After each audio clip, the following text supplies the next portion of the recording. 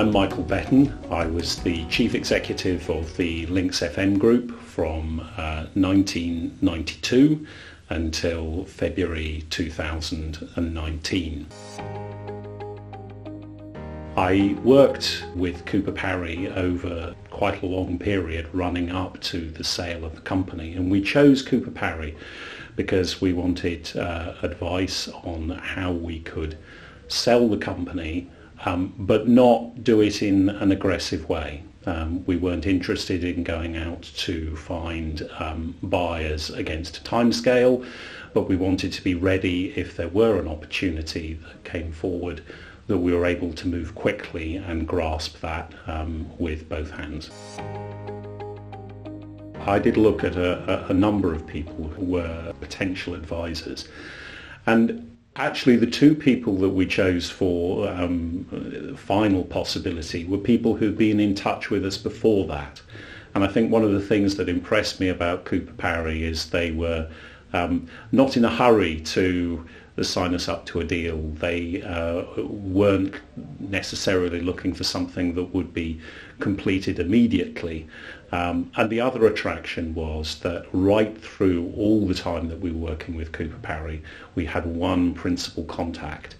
And that seems to be rather different from some other firms. I found it much easier being a small company employing around 100 people um, I wouldn't have wanted to have lots of different advisors. I wanted to be able to pick up the phone, send an email, and it always go through the same person.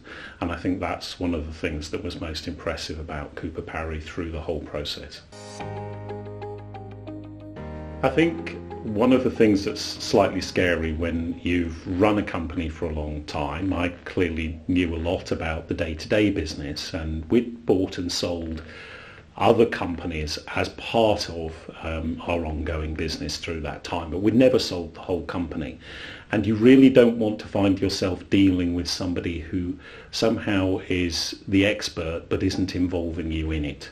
And what I enjoyed and found very satisfying, it's true for our lawyers as well, um, was that everything was done seemingly for us on a one-to-one basis and I, I didn't feel in any way somebody was making plans or doing things without fully involving me. That's a difficult job to do when you've only got one contact either side.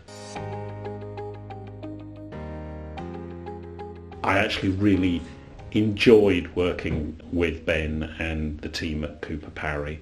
Um, they managed to make things that could easily have been dull and tedious at least have a light side to them. Not not diverting from the importance and seriousness of the job, but actually it's much easier um, working with people who have a smile on their face, um, and Cooper Parry always seemed to have that. Having gone through the full process of a company sale with Cooper Parry, I've got no hesitation in um, recommending them. I think in particular if you're not quite sure what the future holds for you, they have an ability to stay ready to move when you need them to move, but not pushing and saying, well, when are we going to get on with this deal? Because life's not like that. When the opportunity comes, you need to move fast, but the rest of the time you need to be left to get on with your business.